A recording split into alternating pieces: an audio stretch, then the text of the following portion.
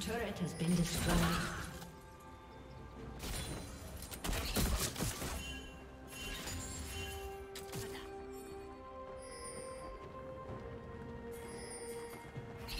Turret plating will fall soon.